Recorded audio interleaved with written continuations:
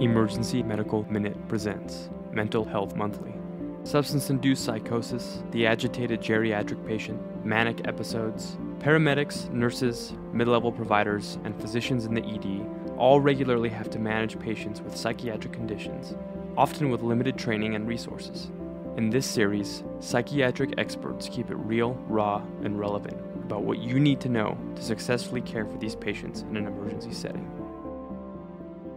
My name is Randi Libbon. I'm an assistant professor in the departments of psychiatry and neurology at the University of Colorado. I completed my medical school training at the University of Arizona and my psychiatry residency training at the University of Colorado.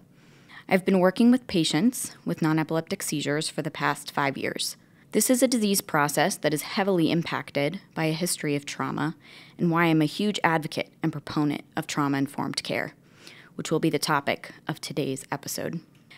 Patients with non epileptic seizures often present repeatedly to the emergency department and are mistreated and misunderstood, which ultimately fuels and worsens their condition and can trigger a trauma response.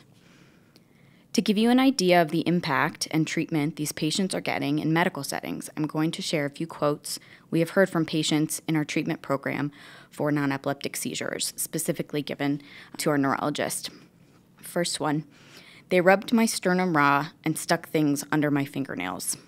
Second one They left me alone and told my husband I was faking it, and so he should ignore me too.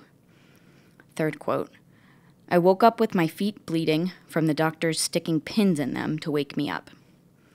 In medicine, we take the Hippocratic Oath to do no harm. As you can see from these quotes, harm is coming to these patients. Trauma informed care is a topic that all medical professionals can benefit from learning about, and especially emergency department providers who can be first line to a patient's introduction to the medical system. By no means does anyone treat patients poorly on purpose. Emergency departments are busy and stressful environments, and trauma informed care can seem like something that isn't urgent or pressing. We can think about trauma informed care as an attitude that takes practice to develop. I hope to give you some ideas for starting to implement a more trauma informed attitude, or emotionally harmful or life threatening.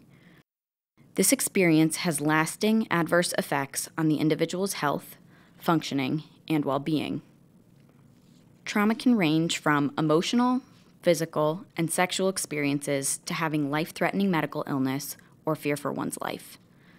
Trauma, especially as measured by the Adverse Childhood Events Questionnaire, which is called ACE for short, can also include childhood neglect, having a family member with a mental health or substance use disorder, witnessing violence, and poverty.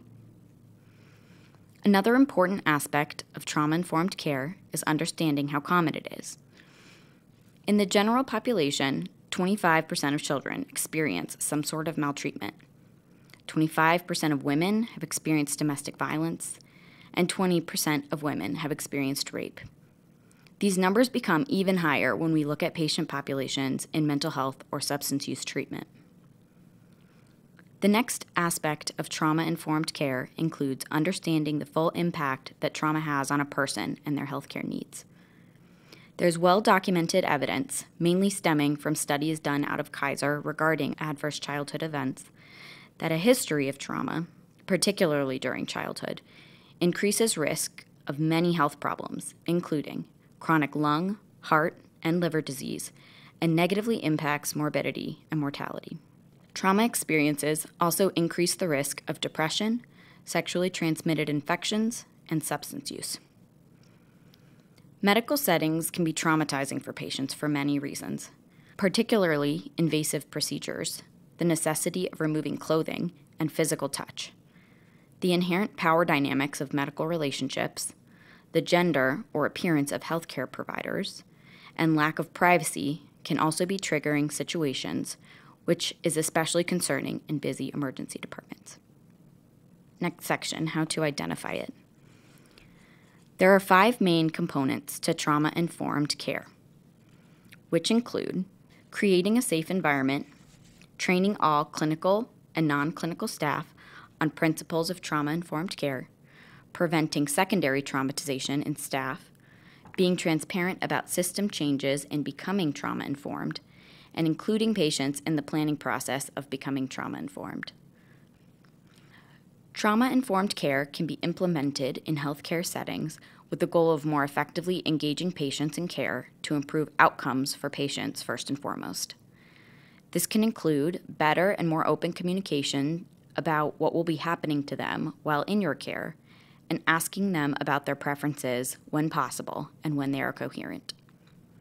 A secondary benefit of trauma informed care is helping to reduce costs for social services and healthcare. This means reducing frequent visits to the emergency department or long waiting periods for care or disposition in the emergency department. Learning to recognize the signs and symptoms of trauma in patients, family members, and employees is another important step. This includes recognizing secondary traumatization that occurs in staff and providers treating patients who have experienced trauma. Screening tools for adverse childhood events can be found at one of the resources provided, acesaware.org. Why should you care as an emergency department provider about trauma and trauma informed care? The care that you provide for traumatized patients and how we treat our colleagues is impacted by knowledge about the effects of trauma on health and well being. Providing trauma informed care can reduce agitation in patients and aggressive behavior towards staff, which can make staff and providers feel safer. Next section Best Practices in an Emergency Setting. The best way to think about having a trauma informed approach is to think of what has happened to your patient and subsequently how that has affected their emotional and physical well being instead of thinking about what is wrong with the patient. Patients with a history of trauma require more sensitivity to their needs and vulnerability. Once you understand the impacts of trauma, it is important to look for ways to help patients with prevention and treatment from the negative effects of trauma.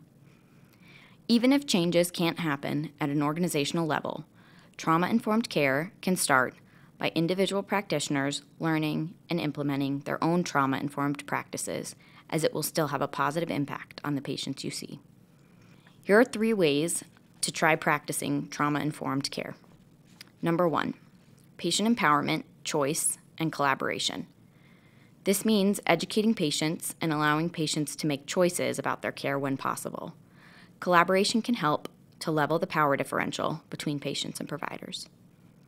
Number two, create an environment of safety and sensitivity. This means making healthcare settings and activities that take into account patients' physical and emotional safety. This also includes considering that patients have diverse backgrounds of gender, sexuality, race, culture, and ethnicity, and being sensitive to differences in their needs as a result. Number three, trustworthiness and transparency. This involves making clear expectations with patients about what treatments are being suggested, who will provide these services, and how this care will be provided. By putting some careful thought into how you talk to patients about trauma and thinking about how trauma impacts the care they receive and their health, we can all improve the care we provide for patients who have experienced a history of trauma. By implementing these concepts and ideas, we can provide better care for our patients and better support one another as colleagues.